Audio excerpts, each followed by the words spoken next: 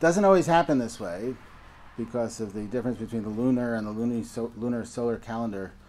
But Ramadan this year comes out just before the Jewish holiday of Shavuot. Ramadan is a month of celebrating revelation, and Shavuot is the Jewish holiday which celebrates the revelation. And the revelation is the revelation of the one God.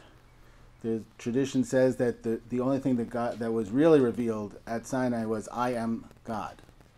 And that one God means that God is the God of everybody.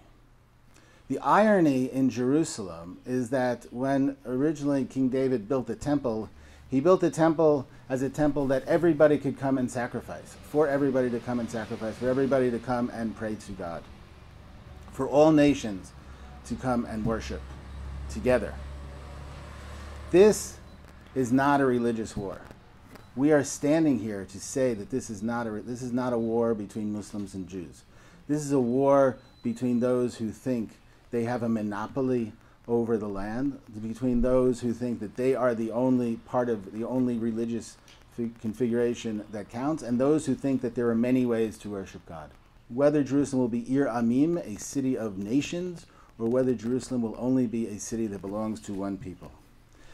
This war, which is by now a war, unfortunately, started, and we forget already, not two weeks ago, but years ago with the attempted displacement of Palestinians from the neighborhood of Sheikh Jarrah, also the neighborhood of Silwan, which, as uh, Salam said, north and south of the old city.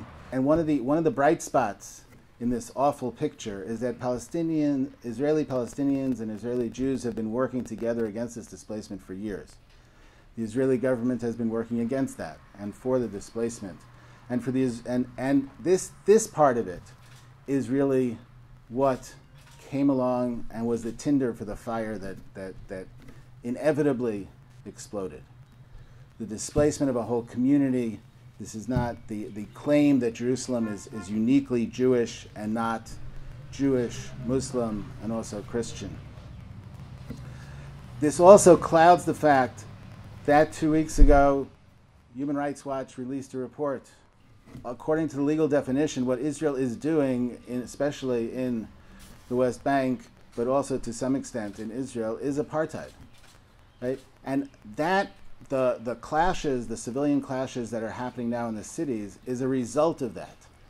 Not a result of the report, but a result of the ongoing, decades long oppression, suppression, repression of Palestinians, both Palestinian citizens of Israel and especially the Palestinians in the West Bank who are not citizens of Israel and have no rights as civilians. And so we are all standing here together, united in the demand that the United States not sit on the sidelines.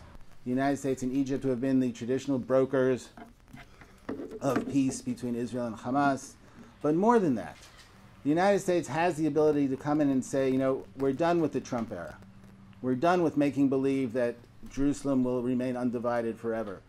We, it's time to start realizing that Palestinians have rights in Israel, Palestinians have rights in the West Bank, and it's time to move forward.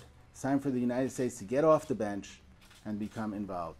And so, just want to finish with the fact that Jerusalem, its name in Hebrew, is means the city of peace. And King David in Psalms said that those who pray for the peace of Jerusalem will themselves get peace. And we all pray for the peace of Jerusalem. But the peace of Jerusalem cannot be some abstract, cloudy thing.